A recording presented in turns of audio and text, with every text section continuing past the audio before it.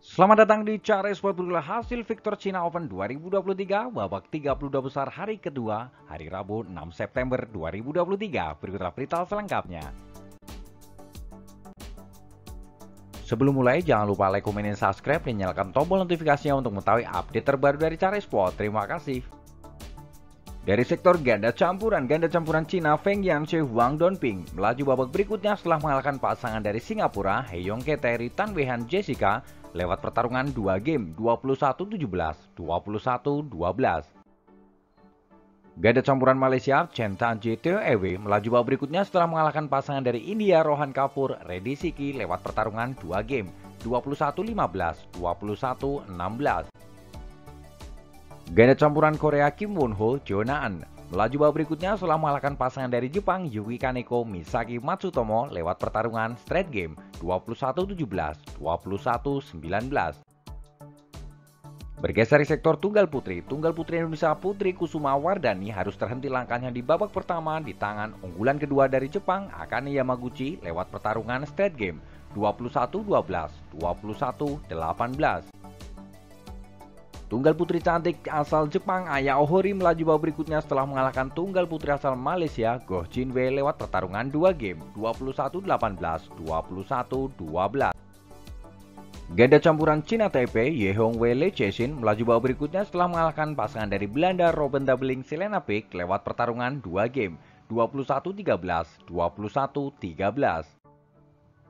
Tunggal putra Cina Li Shifeng melaju babak berikutnya setelah mengalahkan tunggal putra asal Cina Taipei Chao Tin Chen lewat pertarungan 3 game 21-14, 18-21, 21-18. Tunggal putri Jerman Yvonne Oli melaju babak berikutnya setelah menyingkirkan Kirsty Gilmore dari Skotlandia lewat pertarungan 2 game 21-16, 21-18. Tunggal putri Korea Kim Gaan melaju babak berikutnya setelah mengalahkan Lainetan dari Belgia yang menyatakan retired karena mengalami cedera pada waktu skor 21-9, 6-2. Tunggal putri Cina Chen Yufei melaju babak berikutnya setelah mengalahkan Gwen Zhang dari Amerika lewat pertarungan 2 game 21-18, 21-5. Ganda putra Indonesia Muhammad Soebul Fikri Bagas Maulana melaju babak berikutnya setelah menyingkirkan unggulan kedua asal India Sarvirat Rani Reddy Chirag Shetty lewat pertarungan 3 game 21-17, 11-21, 21-17.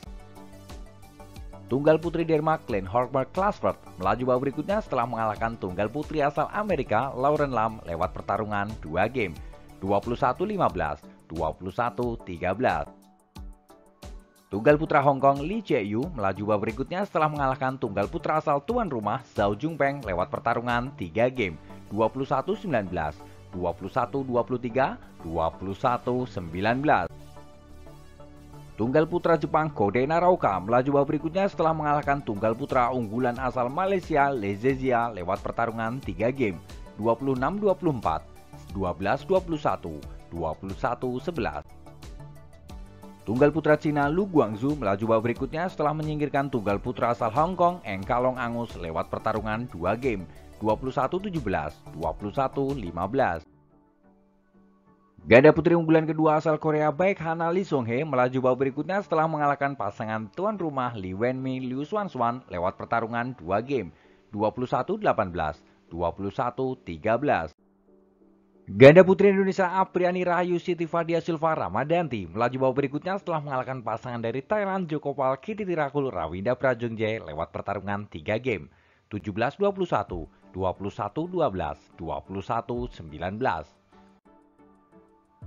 Ganda putra Denmark Rasmus Jer Frederik Sogard melaju babak berikutnya setelah mengalahkan pasangan dari Prancis Lucas Corve Ronan Labar lewat pertarungan 2 game 21-17, 21-9.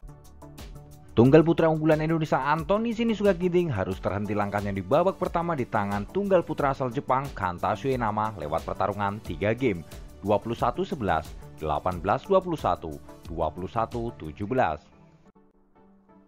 Tunggal putra Denmark Rasmus Gemke melaju babak berikutnya setelah mengalahkan tunggal putra asal Thailand Katapong Charon lewat pertarungan 3 game 21-18, 18-21, 21-15.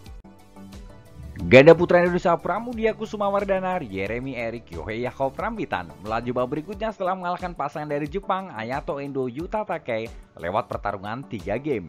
22-20, 19-21, 21-17. Ganda putri Korea Jonan, Kim Hyo Jong melaju babak berikutnya setelah mengalahkan pasangan dari Thailand Ben Yapa Aimsart Nutakan Aimsart lewat pertarungan 3 game. 21-13, 24-26, 21-15. Ganda putra Malaysia Aaron Chia Sowuyik melaju babak berikutnya setelah mengalahkan pasangan dari Korea Chol Shel Hyu Kim Won Ho lewat pertarungan 2 game 21-10, 25-23.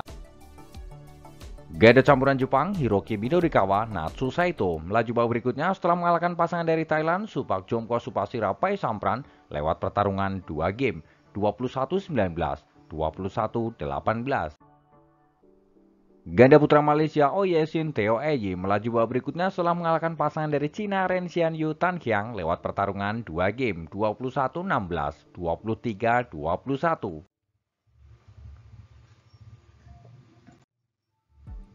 Ganda putri Malaysia Vivian Ho Lim Cheshin melaju babak berikutnya setelah mengalahkan pasangan dari Jepang Rio Hirokami Yunakato lewat pertarungan 3 game 12-21, 21-11, 22-20.